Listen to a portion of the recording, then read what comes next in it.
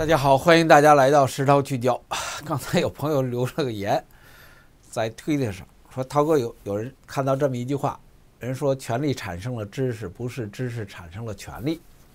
所以呢，知权力者就拥有了一切解释，呃，就拥有了一切是解释一切，大概是这么个意思。呃，我看我我我个人看过，因为人家是是这么反馈的过来的，我看过之后就有点有点茫然。”稍微有点茫然啊，呃，我因为这个这个这个茫然的意思就是说，在今天的社会中，我不知道这句话是它的背景是什么来的，但我相信背景更大的背景来自于目前现在中国的政治环境，人们对权力其实就是拥有，其实太多的权利，呃，权力的概念就是跟有神论跟无神论首先为基础，在无神论的基础下。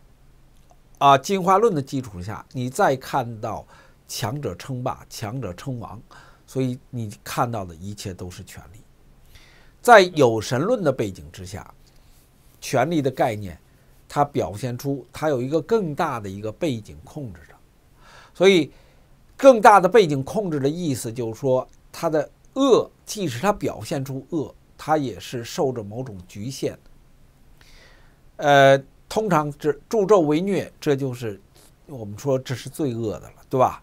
纣王变成了一个恶的代表，恰恰它产生于被人们知道的就是我们跟文字、跟中国人的文字的产生在同一个时间，所以也就等于是追到源头了。你再往下后追，按照共产党的话，那叫神话了，对不对？中国神话故事那么里说了，但中国神话故事呢？他共产党又承认，就像人家骂说石涛，我看你就是，呃，他叫什么来着？你是炎黄子孙吗？我说你这个笨蛋，那你信马克思，你把炎帝也给坑了，你把皇帝也给骂了，你算个什么东西？所以共产党骂人的时候都骂都骂不出个东西都骂骂人的时候都能把自己给骂了。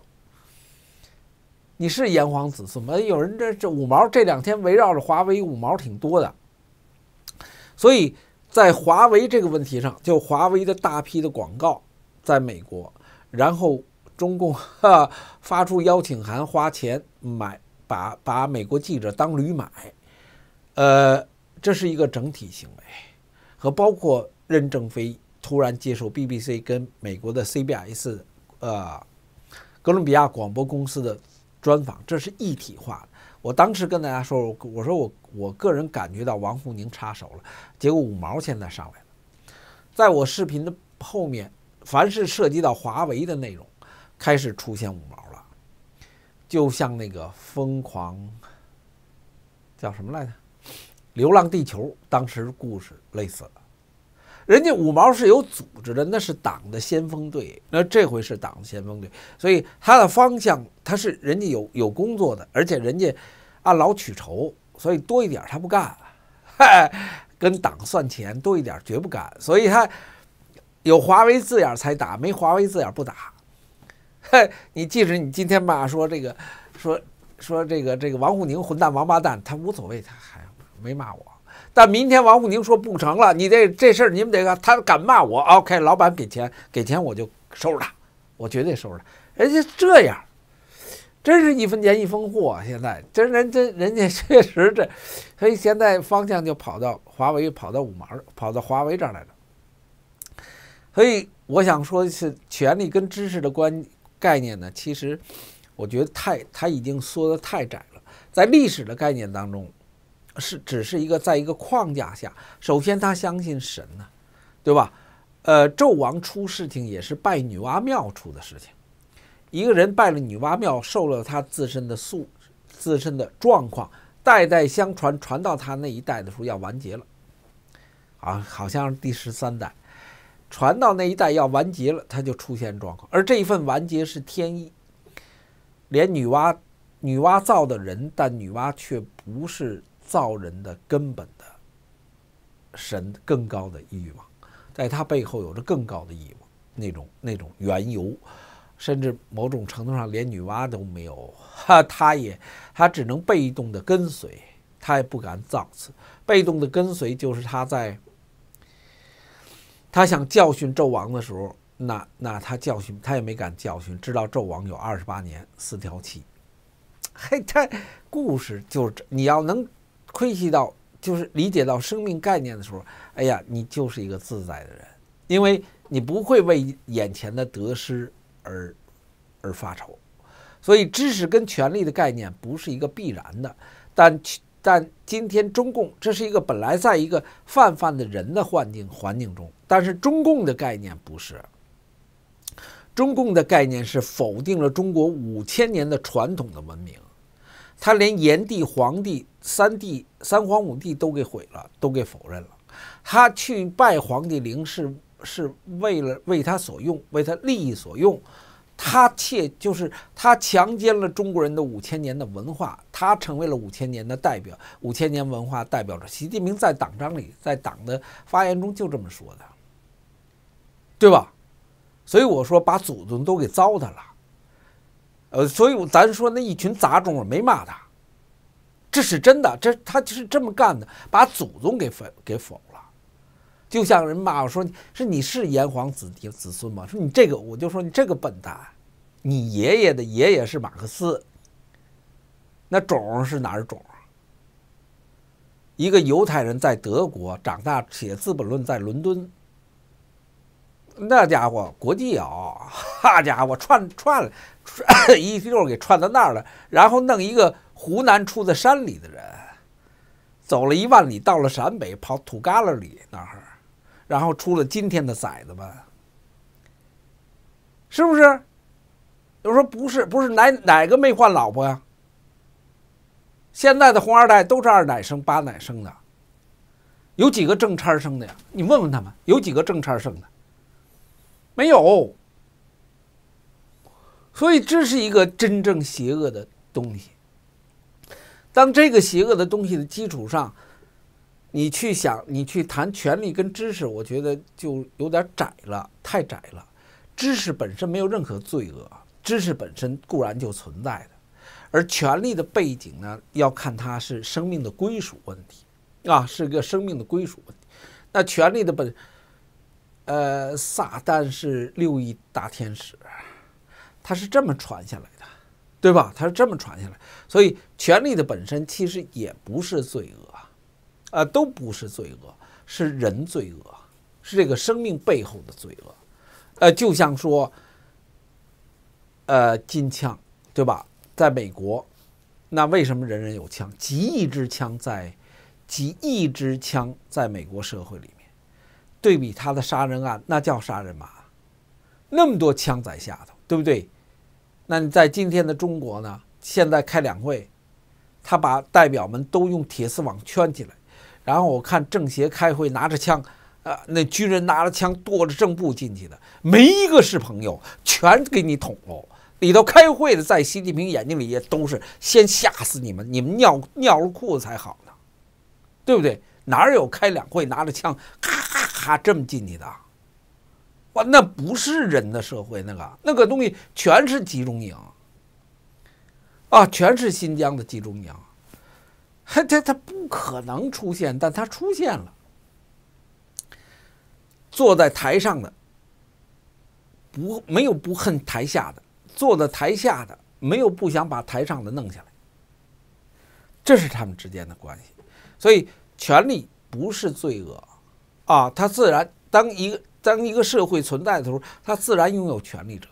知识也不是罪恶，他们之间也不是这种相互产生的，而是在邪恶的人握有邪恶的生命握有权利的时候，他可以任意玩弄知识，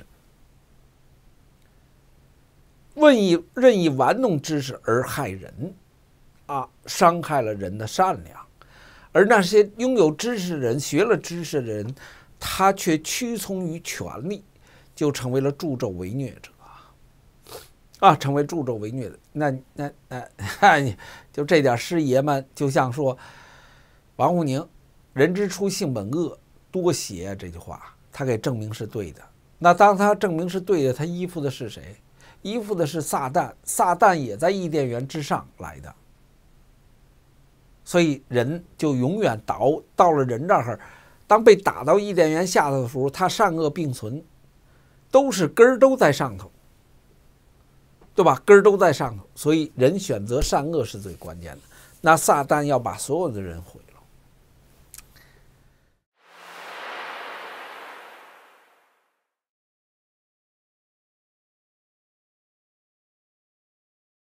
英国跟德国围绕五 G 是否封杀华为，嘿，有了很大的，就有了很大的这个麻烦，呃，出了很大的麻烦。呃，然后呢，我们对英国呢跟大家做过一个分析，就是他的前情报总监是后来成为哈佛的学者。我跟跟大家介绍，为什么已经离开了你的职位，你已经成为一个学者，你却为为华为那么歇斯底里。他用了歇斯底里去形容反对华为的人，他他自身是歇斯底里的。呃，我们做过两三期节目，揭示他的来处啊，揭示他的来处。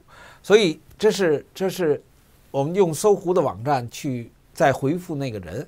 你看这搜狐，这是首页新闻，boss 要娶我，对吧？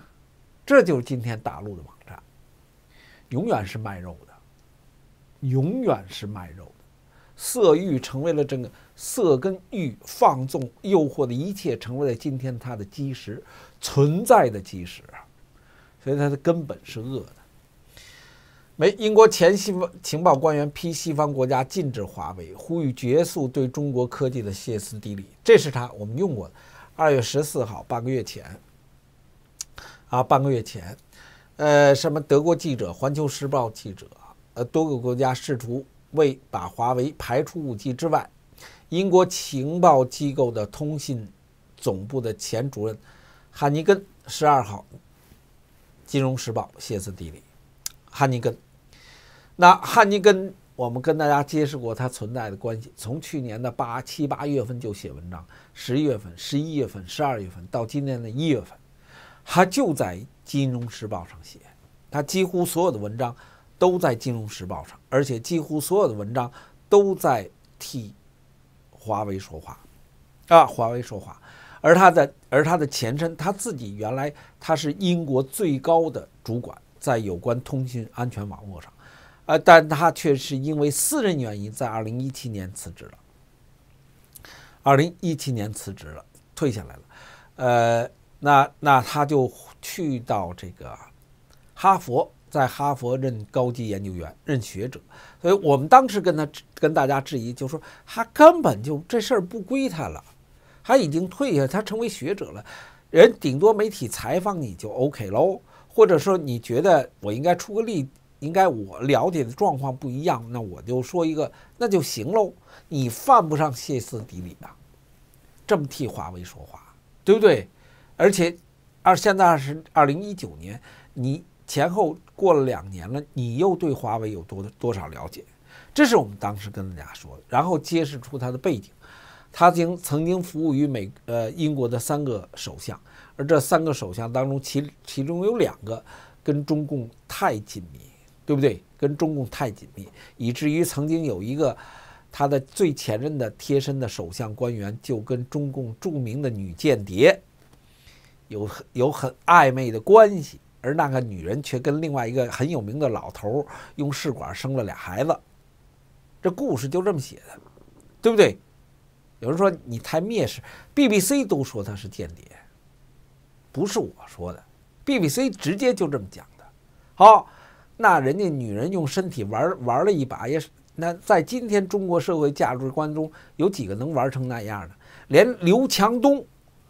去弄女孩，二十岁的女孩跟女孩说：“到时候你要随了我，我给你弄成那样的。”那刘强东媳妇儿现在把悉尼的房子给卖了，因为他媳妇儿也不能把自己留在二十岁，二十五了生了孩子了，所以他扭脸就那样。你说连是不是连牲口都不如？这些有名的人是不是连牲口都不如？牲口在六道轮回中，牲口有自己的坚守啊。这些男女都没有什么，连牲口都不是的，啊！大家，大家，我说的意思就是这个环境完全摧毁了，人的环境完全摧毁了。那这是，这是这个我们跟汉摩尼、汉摩尼、哈尼根、哈尼根，其实他的名字就跟那个啤酒那个名字是一样的，哈尼根的，很很好喝的啤酒。前英国主管涉嫌性丑闻，迁出了中南海大计划。这是阿波罗网站，他看到了一个更新的内容，然后他借了一个综合的文章，但我们就跟大家分享这爷们是怎么回事儿。呃，前主管政府汉汉尼根发表文章，全面禁止华为是没有任何意义的。而现任主管弗莱明警告说，英国必须了解中共技术可能带来的威胁。是这个弗莱明这篇文章，我跟大家介绍啊，一个星期之前，他完全否认了，完全否认了汉尼根的说法。而且你也再也看不到《金融时报》在登什么，呃，这是英国真正的表态，因为那个是真，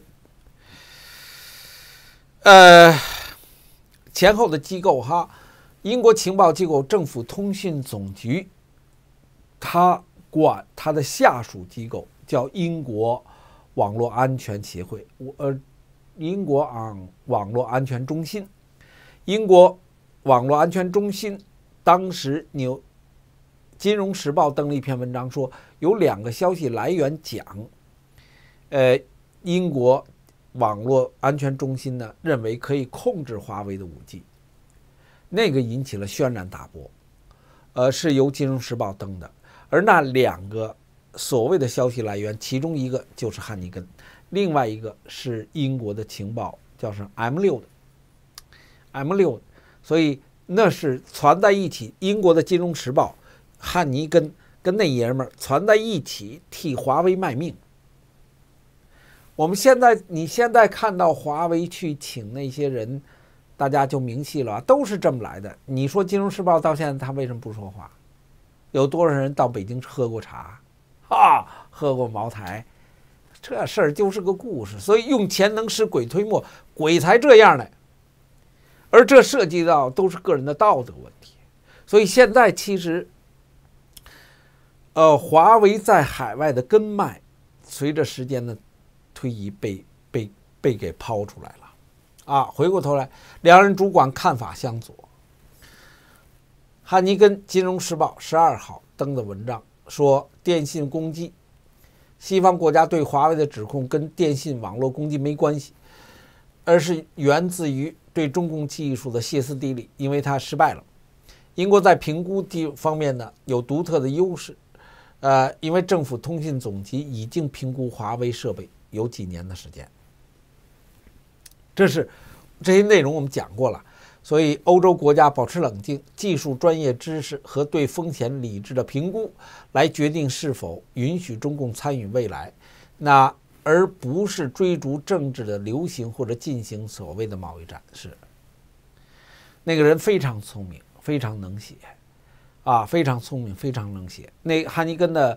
他最大的功绩呢，就是当时结束了北爱尔兰的恐怖组织，北爱尔兰的这个反对英国的这个呃组织，当时的那种和谈呢，是他干的，是这个汉尼根干的。啊，所以汉尼根当时在为什么在英国政坛有那么有名，是跟这有关。而汉尼根的继任者弗兰明则公开否认了这方面，面临巨大而复杂的。战略挑战，这是二月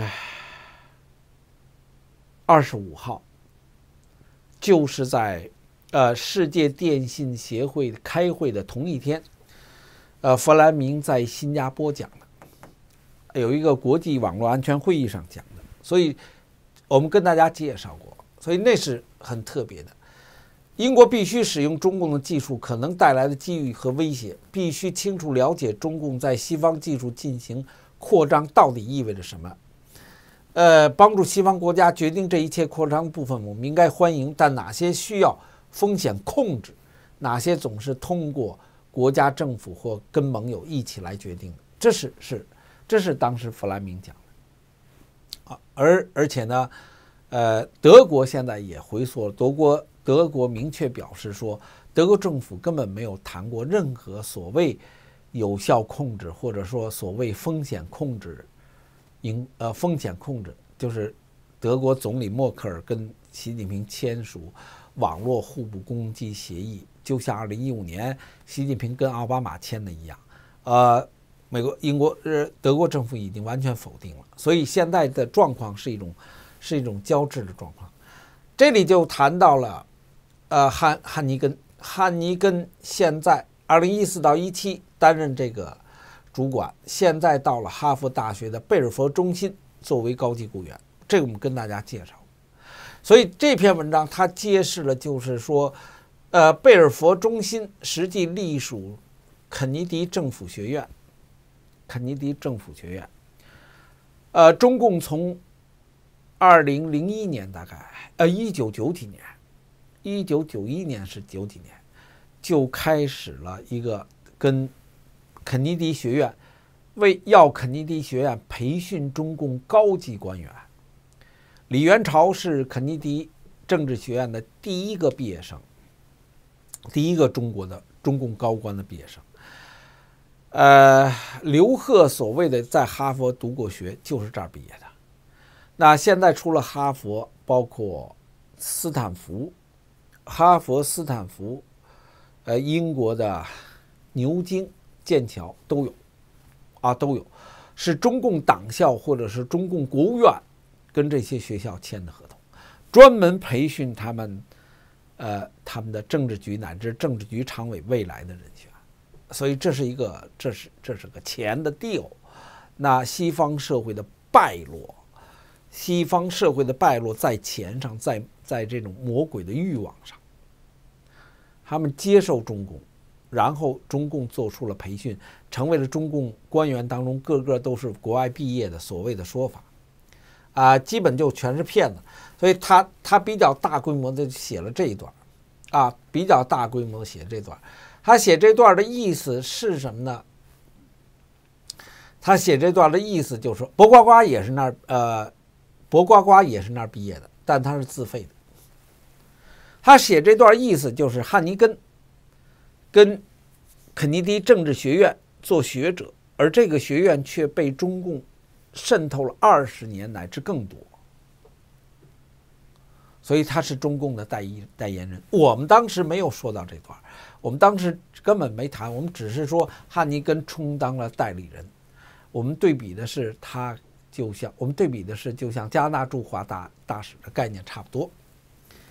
汉尼根曾经是英国政府最大的情报机关的主管，是二零一七年离职的原因，却是为了一个神父写过一个叫做名誉证明，免于制裁，而这个神父却是就像天主教的很多神父一样。恋童癖，那什么叫恋童癖啊？性，对吧？呃，伤害孩子，啊，伤害孩子。二零一四年上任，二零一七年四月因家庭原因离职。呃，通常这个职位不是这样。然后，星期美英国《星期日邮报》披露实际情况是，英国国家打击犯罪总局。在二零一七年一月份，发现汉尼根曾经帮助一个朋友免于坐牢，这个朋友叫希金斯，双方有二十年的交情。汉尼根早期要做牧师的，我们在介绍他的时候，我们有看到这个。二零一三年，希金斯因为持有一百七十四张儿童色情照片，被告上法庭。而他却出于好意，为他提供了有利于他的叫品行证明信，结果他被判八年入牢。这些这个这个牧师判八年入入牢，但是缓刑。但后来希金斯再次犯罪，那国家全国英国打打击犯罪局对案子进行调查时候，发现汉尼根跟他有私交，还提供了。呃，叫身份纯净证明这件事情报告了首相府，首相府给他留面子，所以因家庭原因而辞职。所以这是一个道德问题，个人人品操守问题。对吧？而他因为他是情报英国最主要的、最大的情报机关的呃首脑，那因为道德操守问题，因为色欲问题，因为跟朋友之间的关系问题，那当然作为国家的角度来讲，他不能接受。但正是这样的问题，而他所所操守、所犯的罪名的问题，却恰恰是中共最擅长的，就是中共去用色情间谍、用女人、用钱买、用男人买断这世界上的一切，就是现在的做法，还在做呢，对不对？还在做呢。我们昨天说的华为那个故事，就是还在做的。呃，今天看到有另外的发展，所以这个是点到实处了。这是汉尼根的恐怕他的根本原因，个人的道德品质问题，而且涉而且涉及到英国国家安全问题，从而辞职的。那今天他成为了哈佛的学者的时候，他是个学者，他可以随便那么登。可是中共在使用他的问题的使用他的文章的时候，却一直是把他的官方曾经的官方身份给披露出来。哈哈，不是魔鬼不聚头，其实是这个问题，不是魔鬼不聚头。感谢朋友们，请吃到喝咖啡，呃，周末愉快。